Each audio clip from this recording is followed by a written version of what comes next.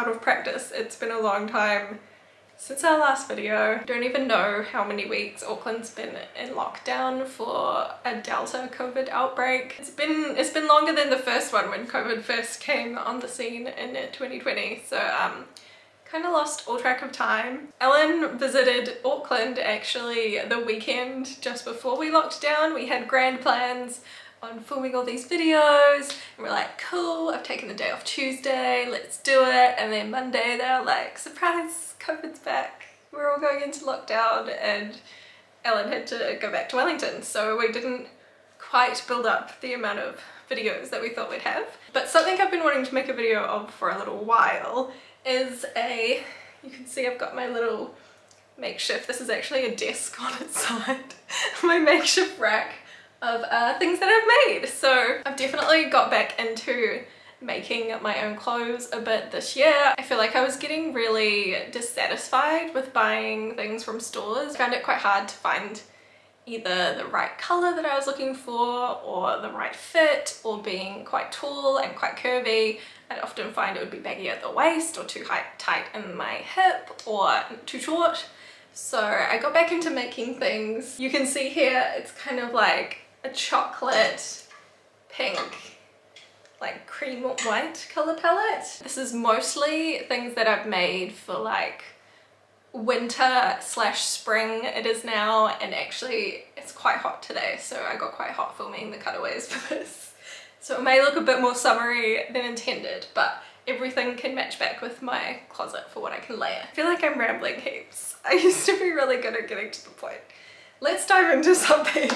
We're gonna start with the first one. This is a really popular pattern I'd seen on Instagram a lot by a brand called McCall's. It's one of the big four pattern makers. The, the running theme of all these garments is that they'll be covered in cat hair.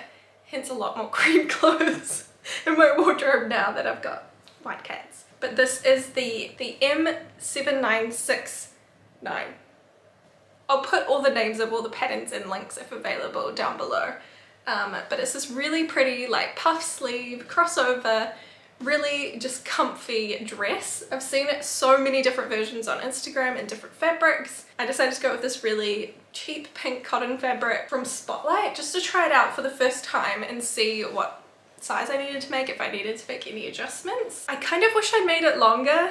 I, I did plan on going into store and getting a bit more for a ruffle around the bottom, but lockdown, haven't been into stores for months, so maybe when it reopens that'll be one of my exciting store adventures. I did find this pattern really big. I ended up having to cross over the front more than the pattern advised just to keep it not as revealing. It's also quite baggy here. I feel like I didn't see many people mention that on Instagram.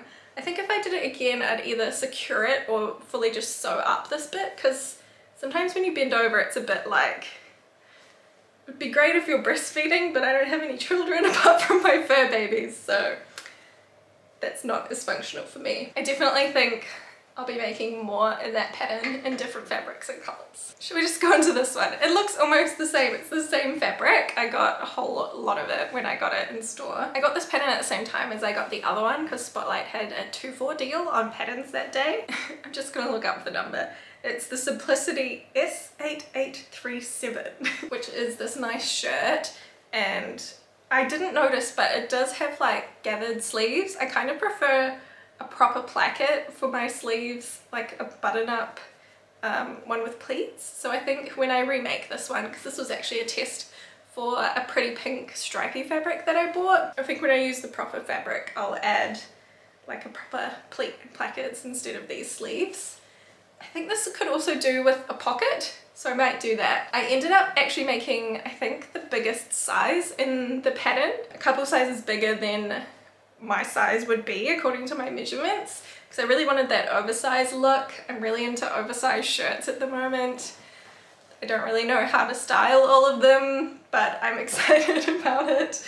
This one especially, I don't know if this works with a singlet, but that's what I'm wearing.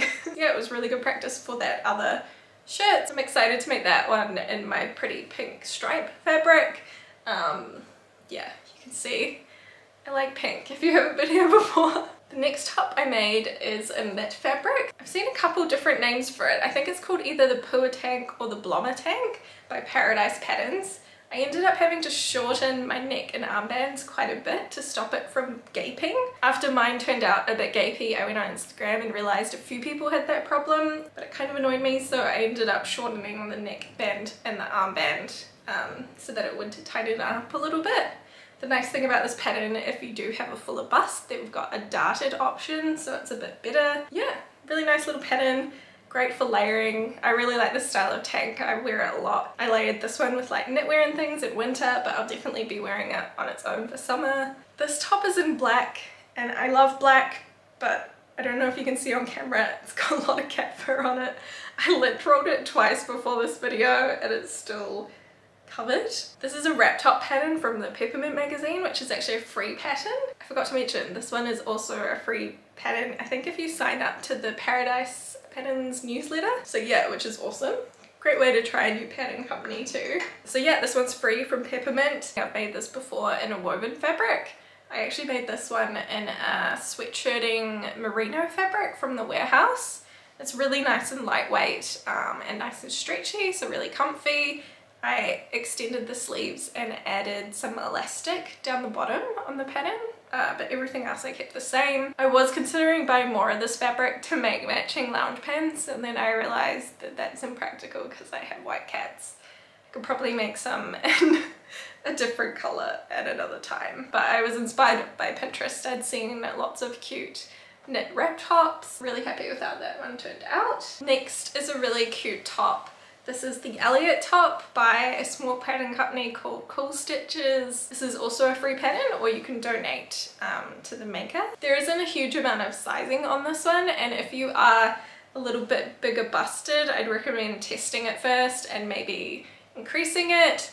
It was actually a little bit too revealing for my liking. It's quite low in the front. If you can go braless, it's probably fine, but I'm not about that life. And you could kind of see my bra um, in this example that I tried it on with. So I did actually add a third tie just in the front to tie it a bit closer together. I also added um, buttonholes. I don't know if you could see it, but buttonholes. So the ties actually come out on the front and I can have a little bit of an overlap between the fabric at the front there. I also, if you can see this seam here, added some extra length to it maybe because I'm quite tall it just came up quite short on me. Probably a combination of bigger boobs than the pattern was made for and taller than the pattern was made for. But it's really cute. I really like it. I also added elastic sleeves. So it's really pretty and girly. I think it'll be great for summer. I actually made this kind of towards the end of winter and it was a bit cold to wear it but I think now that the weather's warming up it's perfect. Next I might go on to knitwear. I've knitted for a very long time I've never really knitted much in terms of clothing. I've knitted like accessories like beanies and scarves um, and I've knitted like baby booties and a little baby jacket but I'd been seeing so many cool pieces of knitwear on Instagram that I wanted to give it a crack. My first attempt was this cardigan. This is called the Morchella, Morchella cardigan by Whitney Hayward. I'd seen a few people I enjoy their makes wearing it. Unfortunately, I wanted to put this in here because I just wanted to show I'm not always happy with the things I make. This at the moment is a bit of a fail for me, but I'm hoping that I can redeem it by making the sleeves a bit longer and bigger. Maybe you can see in the cutaways but it's quite short and tight in the sleeves. When I put it on Nathan actually was like is that a child's cardigan and I was like no I made it.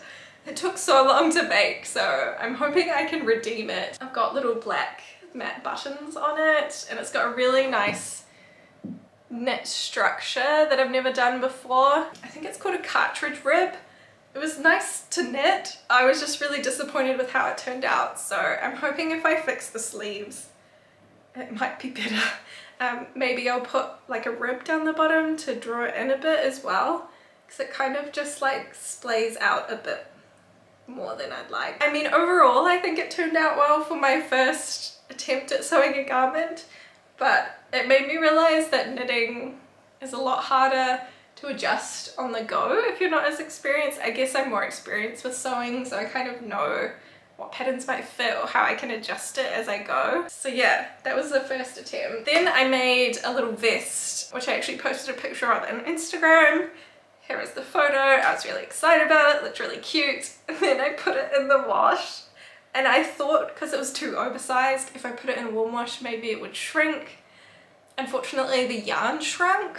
So it stayed the same size, it got bigger actually because the yarn shrunk to be really skinny and it looked kind of see-through, which was very disappointing. But then I made the v-neck version because I had some yarn, lots of yarn left in the same colour and it's really cute. I definitely think I want to make one of the high neck ones again and maybe make it like extra long with like a side split down the side would be really cool. I actually quite like wearing this by itself, kind of like as a singlet. Haven't quite figured out how to wear it that much with things like layering. I did try it on over a shirt, but it was a bit hot. And I haven't had many other opportunities to experiment with outfits in lockdown. I'm not gonna lie, this is the first time I've probably worn makeup in maybe a month. I think I've worn makeup like four times in like two or three months. What is time? I'm just doing Zoom calls. I did try a vest pattern from Petite Knit the first time I made it I didn't like how it turned out so I actually unraveled it and tried the Just a Slip Over by Knit for Days which I really liked and this is the v-neck just a slip over so I really recommend those patterns even if you're a beginner lots of these techniques I'd never used before like the there's a twisted rib and there's different techniques that I hadn't used before and the instructions come with lots of great like videos that help you understand how to do things so I was kind of proud of my vest I like how it turned out much more successful than my carding. Um, onto a bottom. I think I'm wearing this bottom for most of the cutaways. It's actually in this really nice corduroy. This pattern is uh, the wide leg pattern from Peppermint Patterns. Again, a free pattern. The fit of it is really good. I'd seen a few people recommend it. The pockets actually go right to the center so it's really flattering if you're quite a curvy shape or if you find that pockets kind of sit funny on you. I did end up slimming the inner leg a bit because it kind of makes, I didn't really know this about corduroy because I haven't had corduroy pants since I was probably 11 or 12 when they were like from Urban Angel and they were baby blue. but I realized that when you walk around with them and you don't have a thigh gap, you make a really loud swishing noise. So I did take them in a bit in the center compared to the pattern, hoping that it would reduce the swishing noise. It kind of didn't, but um, I'm really happy with the overall result. I think I'll make some in like a white denim for summer or like an ecru cream would be really cool. I'm definitely going to use this pattern again. And then last but not least, I've got two satin slip skirts here. The fabric for both of these is this nice rayon twill from Spotlight. I made the black one first. I made it with a tie waistband. Um, this is the Evie Bias skirt pattern from Tessuti Fabrics. I've made this before with an elastic waistband. I've made a pink one before with this method with the tie waist. I just turn it over and make a big long tube and pull it through. Pretty good if you don't have any elastic or zippers on hand. This cream one, I actually tried a zip for the first time. Um, it is a tricky fabric, the satin to do a zipper in. Mine did stretch a little bit I think.